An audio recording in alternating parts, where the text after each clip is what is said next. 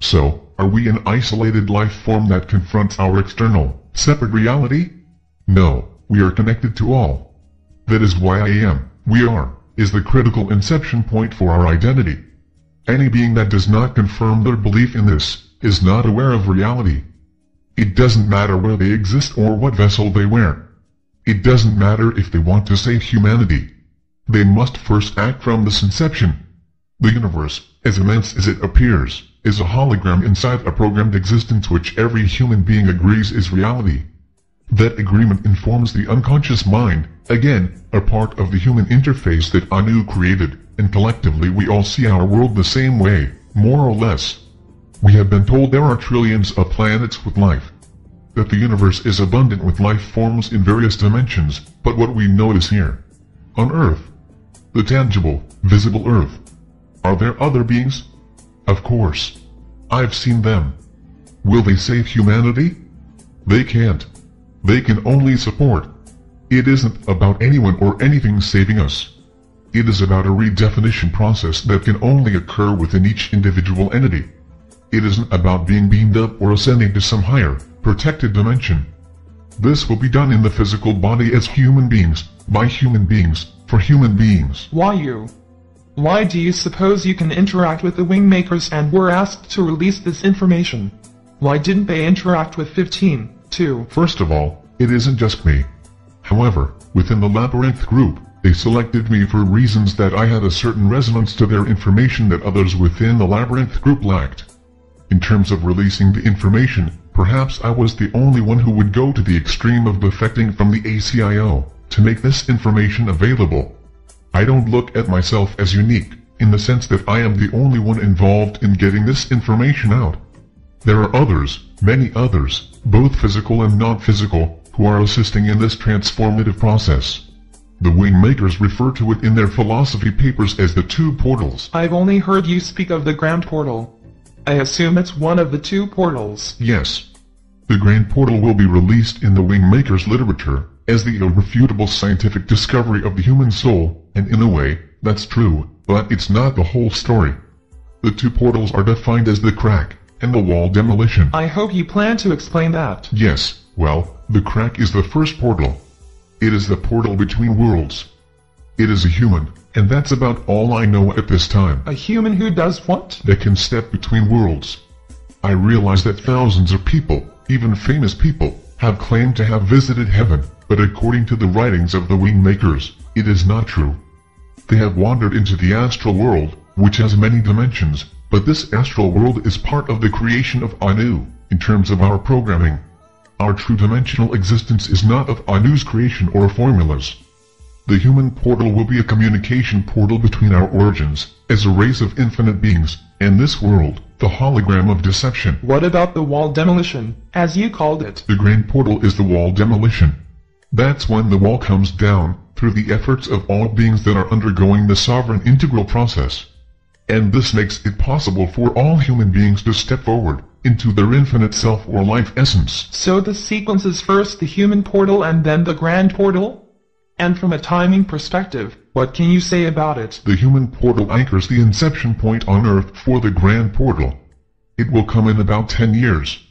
The grand portal, about 70 years after that. Those are the rough time frames I've been given, but always with the stipulation that these times can shift and change. What does science say about this? Science in terms of what? I mean the whole notion of the universe being a hologram or illusion created inside our head. Science is not able to explain it.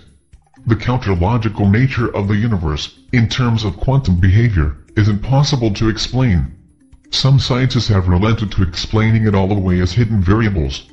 But frankly, what the Wingmakers have explained, is that we're creating the universe through the human interface Anu provided us, by reinterpreting sound vibrations through our five senses. But it doesn't make sense. How can I see the moon, and a two-year-old can see it exactly the same way?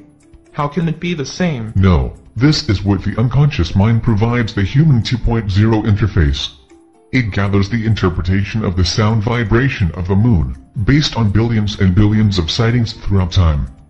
These evolve and change based on environmental conditions, but generally the notion that the moon is silver, and generally the size that it is, is stored and shared in the DNA and unconscious mind system, and reinforced by culture, family and education. This is the universal collective field. It's a field effect that transfers information through vibratory fields that interconnect humans. Maybe it'll just take me a while to get that one. I hear your explanation. It just doesn't make sense to me. Let me change the topic slightly. If everyone's life is pre-programmed, why are you and I talking about this? I mean why are we able to discuss this? Why would Marduk's program allow us to even glimpse this information? It's a good question. Maybe the best way to understand this is to consider a thought experiment. Imagine that our universe is a bubble.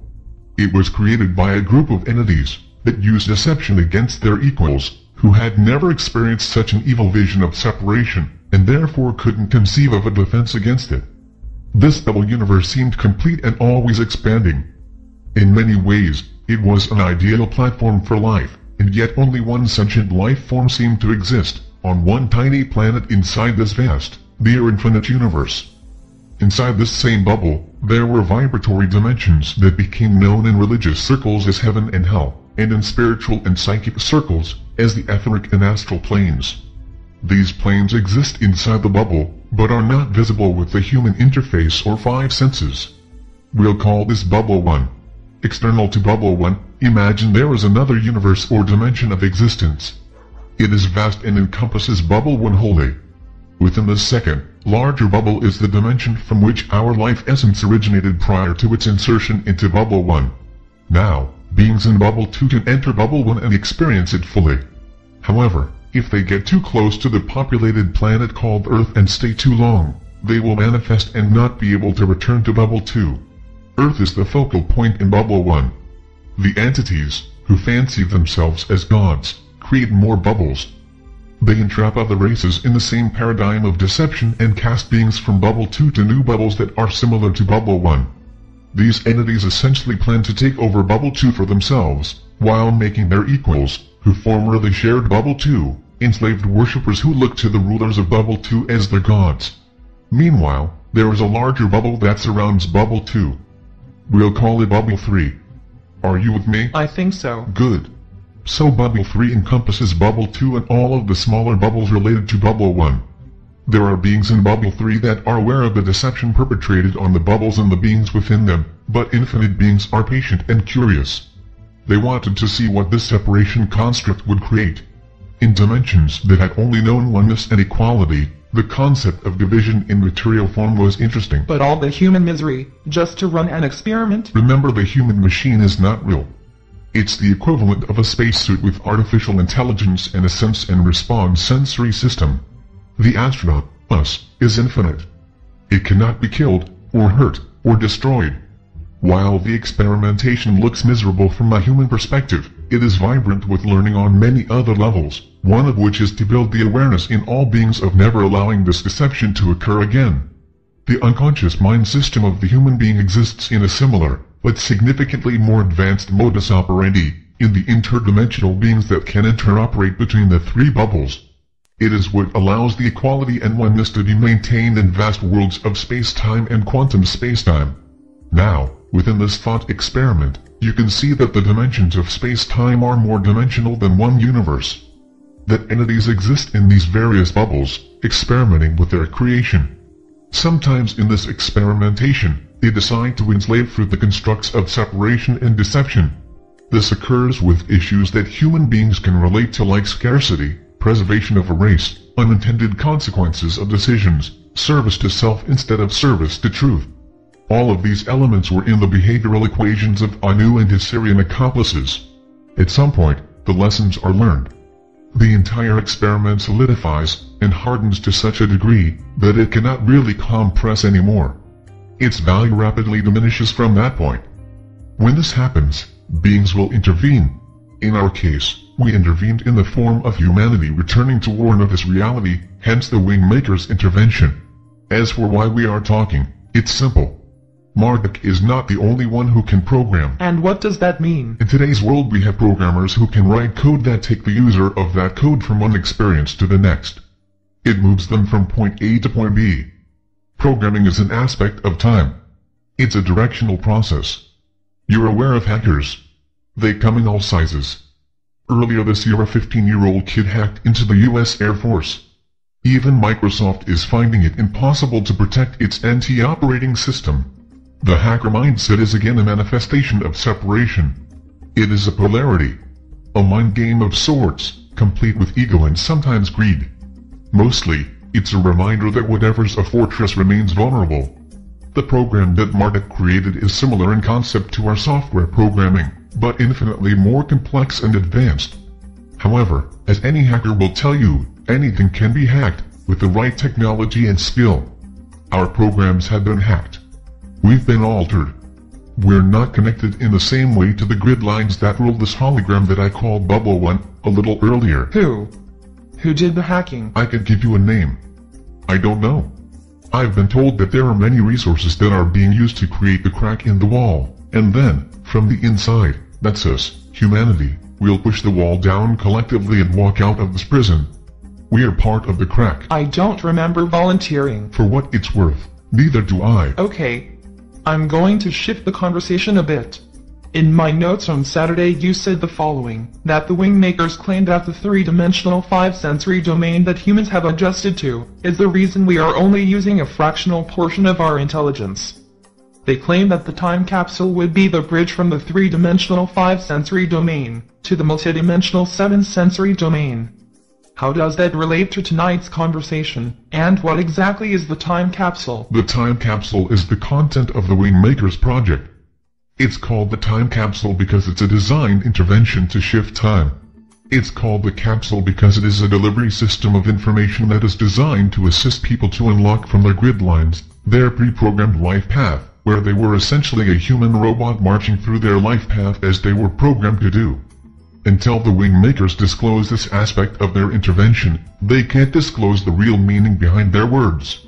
Again, they cloak their words in the accepted standards of this world's rules relative to the New Age, New World Order, spirituality, religion, philosophy, etc. This gave them an accepted anonymity. After all, it was all presented as a myth.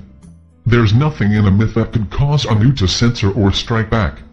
They tested the explicitness of the language, and decided to place some of the activational elements in other formats like art, poetry and music. In other words, when they couldn't state something explicitly, because of retaliatory concerns, they would encode it into the art. But you asked me to hold it back, this interview. What if it never gets released? Then it wasn't necessary. But then that would make the rest of the materials less than true, wouldn't it? I would say it would make them less direct or explicit, but to your point, yes, I would agree that their truth is diminished without the framework of this disclosure. Who are these materials for?